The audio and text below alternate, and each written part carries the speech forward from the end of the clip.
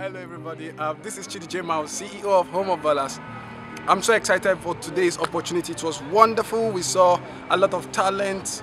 We saw beautiful football being played by these players. And we are so happy that we could actually help the grassroots in Africa. And we are looking forward to going to Ibadan. We are looking forward to go to Ogun. What we really want to do with this project is to help grassroots players get video clips. Are you a footballer? Then where is the proof to show that you're a footballer? Your video clips with what matters. Like I always tell them, football is not all about talent. Football is full-time business. The good news is that you as a player, you are that business. Your talent, your hard work, your self-discipline are all product of this business. So your ability to sell yourself to the right market is what will definitely make you successful. So Home of Ballers is a place for every grassroots in Africa and we are looking forward to covering all the states, are looking forward to covering the various African countries and watch us out. Home of Ballers is the home of grassroots football. We are here to stay. Thank you very much.